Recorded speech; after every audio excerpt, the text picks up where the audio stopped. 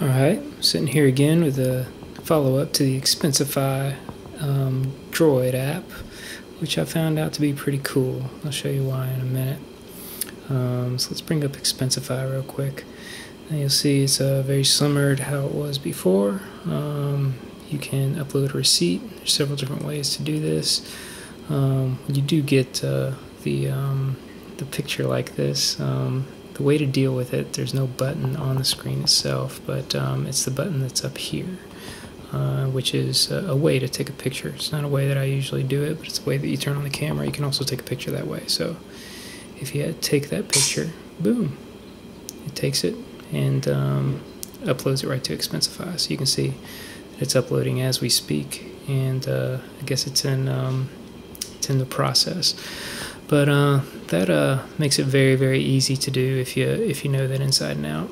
But I'm really liking Expensify for a couple of other reasons too. Um, one of which came out very, very recently, and I'm going to show you that real quick.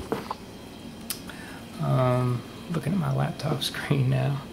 Um, they came out with something um, on the Google Apps Marketplace, which uh, just has to be seen to be believed. You come over here and you look down if you add to your Google Maps or your Google Apps different things, you can see here I've got expenses listed. Um, this is right, calendar, documents, sites, and expenses. And for, uh, for my company, I have expenses. You can go straight to that, and it whips up, and it shows you um, uh, the regular Expensify screen. It's all the way hooked up with your Google Apps account. Um, so this allows you to, for your entire company, to do expense reports very easily, and it all looks like it's uh, seamless within Google Apps. Um, all of the login information and everything is shared. Um, but even past that, there's one other thing which is just uh, too cool to skip, which I've got to show you. They've really done a great job integrating this with a ton of things, in addition to Droid and everything else. Um, but this is how you do a new expense report.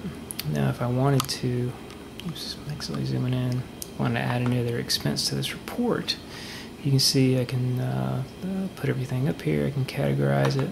Now if I pull this down, you see all these things, um, vehicles, advertising, contract labor, education, um, a whole bunch of different things.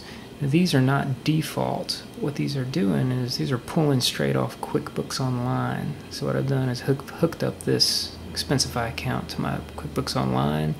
It pulled in all of my line item categories and I was able to take out the ones which really made no sense on an expense report and only leave the ones that did. And um, there's a feature in here where once somebody submits uh, an expense report correctly and it's categorized correctly, it automatically can sync back up with your QuickBooks Online. Um, that is the shit, as they say. Anyway, um, come back for more and hope you enjoyed this. Bye.